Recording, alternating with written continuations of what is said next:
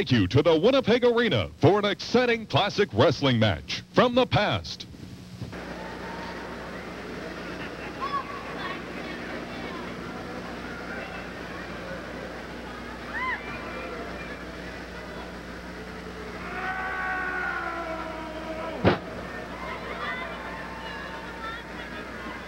The bridge by Robinson with a side headlock.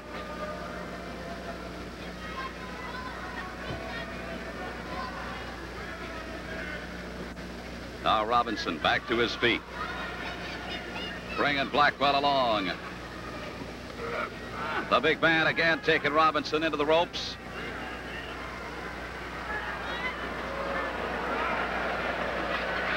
How about that?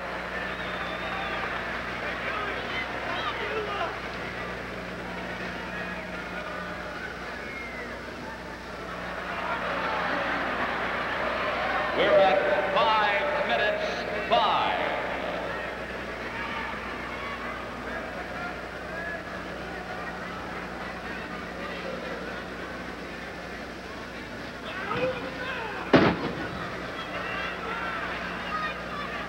Leg takedown by Blackwell, I think somewhat of a surprise to Billy Robinson. Very seldom do you see the Englishman go down like that. And when you consider the size of Blackwell, showing us a couple of things tonight, including that beautifully executed arm drag takedown of the British Empire champion.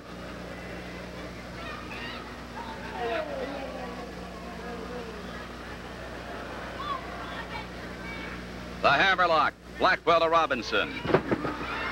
Leg pickup and down goes Blackwell. A kickoff by Robinson.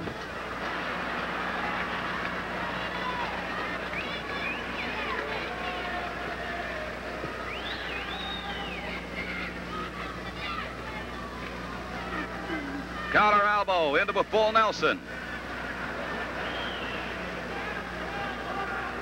Al Robinson, for some reason, backed off that one. Challenging now for a Greco-Roman. Oh, take a look at that.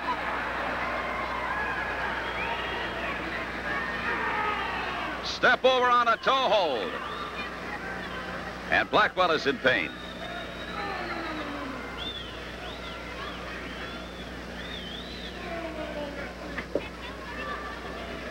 You know, there's been a lot of talk about Jerry Blackwell possibly finding a partner and taking a run at the World Tag Team Championship.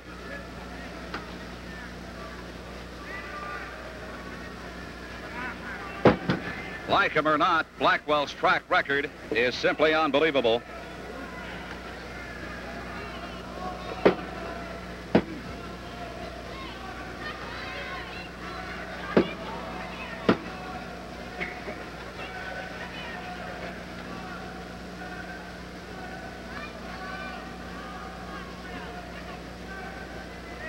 Head scissors being applied right now by Blackwell to Robinson. Robbie up to a bridge, and he finally gets out of it. And now, all of a sudden, a double toe hold, and Blackwell has just had the tables reversed on him by the British Empire champion.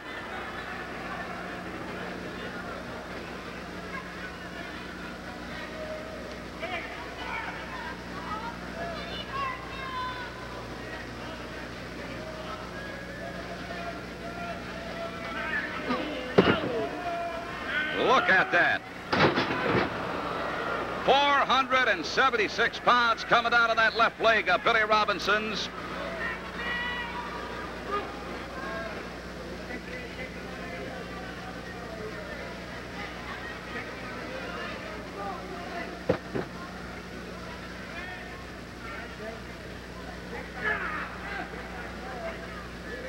Well, I really don't know how to describe it. I think you've got to look at your television set and judge for yourself.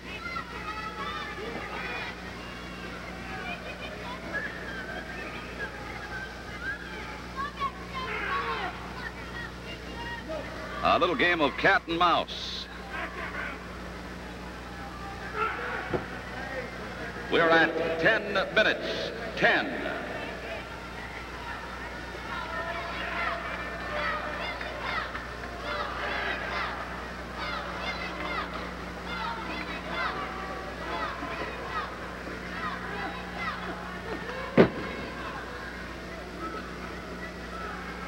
I've had the opportunity over the past couple of months to cover matches at Madison Square Garden in New York City, the Spectrum in Philadelphia, the Omni down in Atlanta, Georgia, on two or three occasions, and also at other points in the mid-Atlantic and southeastern portion of the United States, and also here in Canada at Montreal. And ladies and gentlemen, believe me when I say this, you will see no better wrestling in the world than you see right here in this area. The kind of action you're watching right now on All-Star and World Championship Wrestling.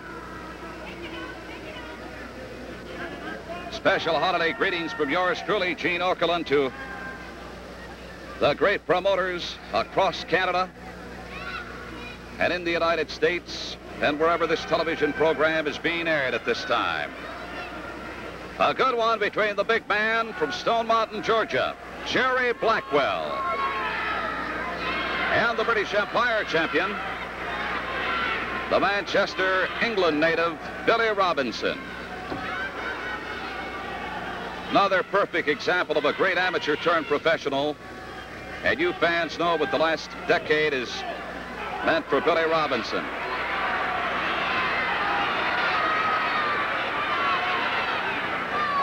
He is just now making plans for a tour of the European continent.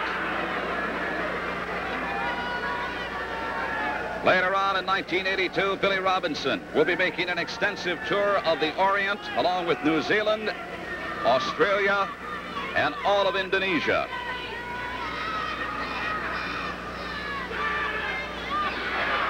Right now, Blackwell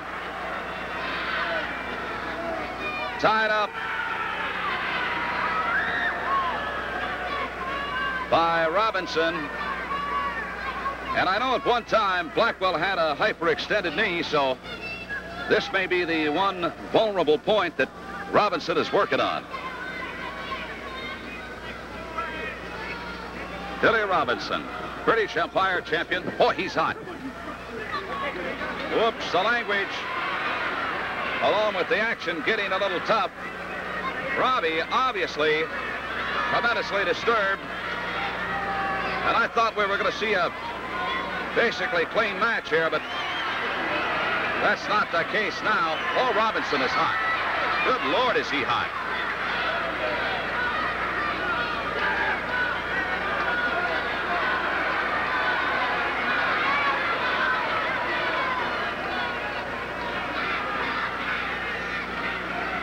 Blackwell coming up lame.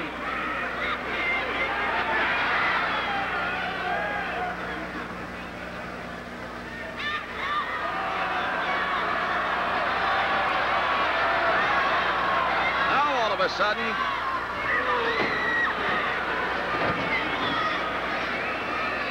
well, I knew that was too good to be true. Blackwell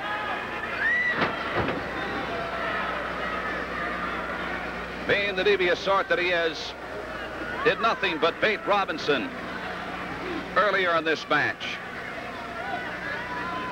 Then he came back and, well, fans, you just saw what happened. We're at 15 minutes, 15. The double sledge, Robinson down to the canvas at the hands of Blackwell.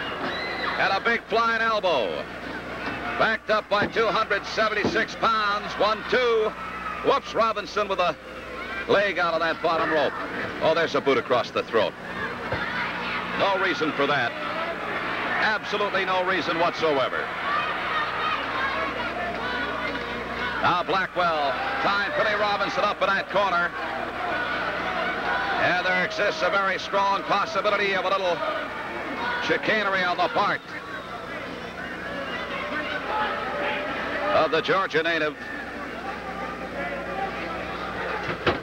Now with a flying knee to the upper chest, maybe even to the throat of Robinson, and there's Blackwell. Well, I think he might be a bit premature if he giving the victory sign at this point, as Billy Robinson is not a loser. There's a headbutt. And I've seen this man, Blackwell, drive nails through a two-inch thick board with his head. So you can imagine how, how tough that head of his is. Now Robinson is just looking for a little relief. Now there's a big uppercut. Wait a minute. And a flying drop kick by the big man. I can't believe that. Jerry Blackwell coming off the ropes.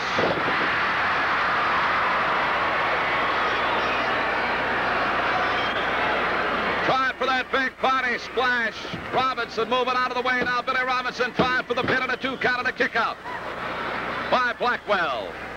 Seesaw battle back and forth, ladies and gentlemen. Another headbutt by Jerry Blackwell. Robinson on Rubber Lake Street, down on his knees, obviously, in a great deal of pain. Holy cow. What action, indeed. There's a knee to the kidneys. Robinson underneath that bottom rope out of the ring apron and onto the arena floor. What a physical battle this has been.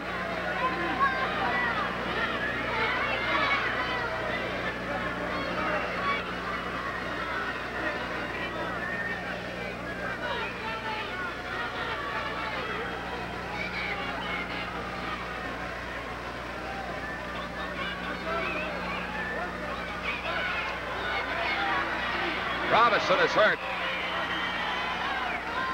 How bad, it's tough to determine. Blackwell doesn't give him a chance to get back into the ring. He nails him with a forearm. Robinson was over that top rope. Said Robinson hurt. That is quite apparent. There's a roundhouse right by Robinson. And again. Oh, look at Blackwell. Oh, what a right by Robinson. Blackwell close to going down. This time an uppercut with an elbow.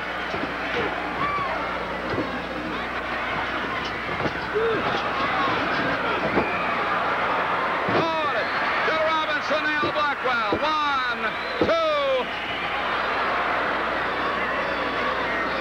As Blackwell came off those ropes, Robinson really nailed him. The reversal on the face lock. Oh! Well, that could be it. One, two.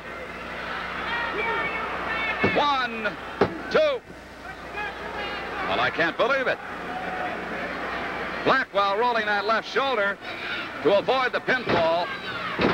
Now, Robbie going to work with the boots. He's got him by the whiskers, by the hair on his chinny chin chin. Billy Robinson with another right. Back in Blackwell up into the corner. Trying for the whip, but it's reversed by Blackwell.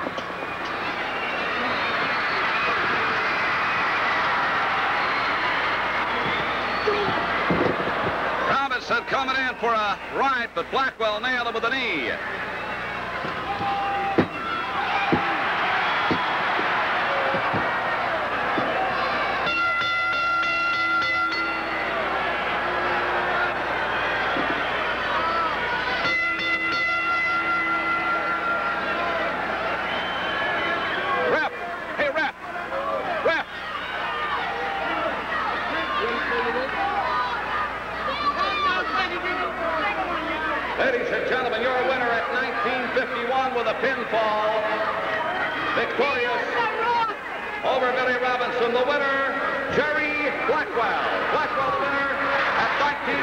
1951. Just a minute. Hold on.